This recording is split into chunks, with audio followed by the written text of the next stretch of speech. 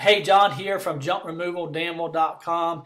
If you're looking for a junk removal service, you need something hauled away, give us a call. Our number is 434 709 0944.